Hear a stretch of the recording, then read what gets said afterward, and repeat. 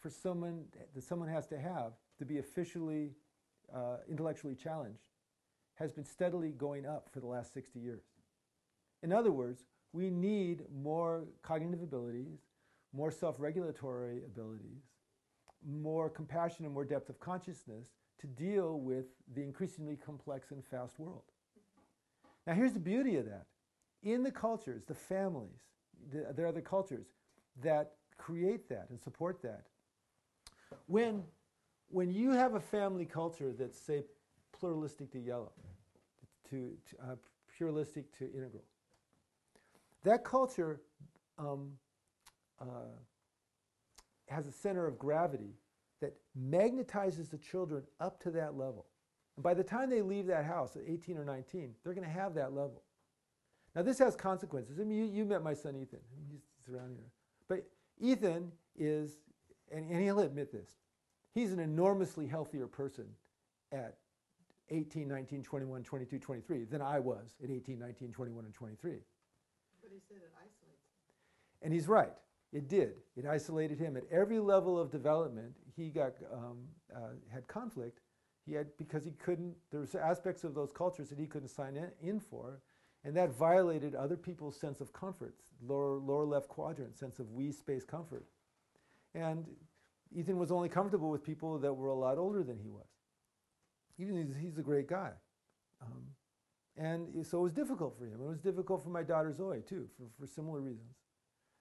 So that now the, the advantage is as they get to be, she's 20, 21, 22, the, she's 20, he's 23, they're turning into these really delightful, self-regulating adults that I'm just so impressed with. Um, you know, my, and my daughter had the same genetic legacy that I had. I mean, I had depression, I had OCD, I had all kinds of stuff, and she had to struggle with that stuff too. But she did, and increasingly, impre- and and so my belief and they're very, very conservative about the people that they hang out with, which I'm really like. You know, find somebody, these, I, a lot of you know about my five star thing. Mm-hmm. I, I, encourage people who are, who are, who are single to, to ask themselves five questions about other, other people that they might, uh, you know, uh, other sex, the other sex. In other words, if I'm a feminine person, these are the five questions that I'd like you to always be looking for about guys. And if, if you're a guy, these are the five questions always ask about women.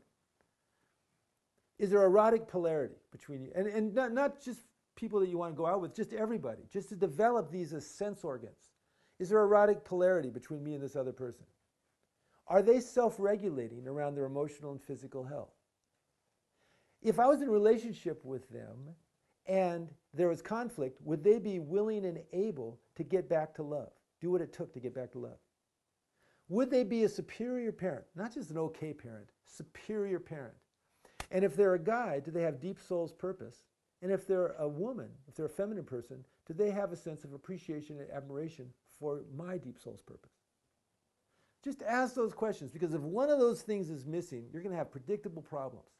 If all five things are there, that person might want to grow with you for the rest of your life towards unity. And I thought a lot about these five things. I went back and forth and back and forth. And one guy I worked with several years ago, I told him, and he said, Those are the ones you told me. So he was really pissed. I mean, he got, he got all he got all conformist on him. He says, Those aren't the right ones. I said, They're not. And he said, No, you told me these other ones. So he told me the other ones, and they were, the other ones were the same thing but more complicated and not, not in the same order because I, I really refined them. What are the five minimum things you look for? And those are the ones.